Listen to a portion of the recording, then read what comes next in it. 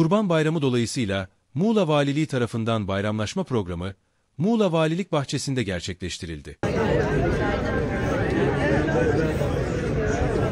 Bayramlaşma programında Muğla Valisi İdris Akbıyık, kamu kurum ve kuruluşlarının temsilcilerinin, sivil toplum kuruluşu yetkililerinin ve vatandaşların masalarını gezerek bayramlarını kutladı.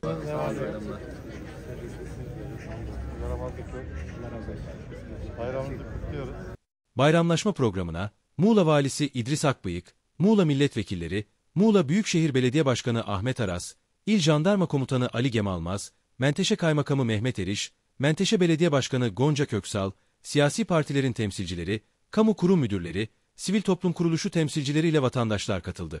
Programda konuklara hitaben bir konuşma yapan Vali Akbıyık şu ifadelere yer verdi. Mutluyuz. Tabii bayramlarda Muğla'mıza çok e, misafir geliyor, çok ziyaretçi geliyor, çok turist geliyor.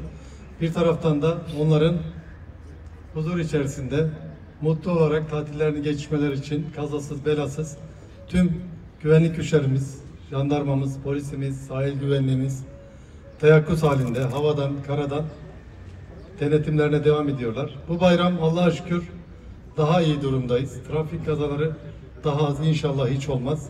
Yine yazın sıcakları başladı.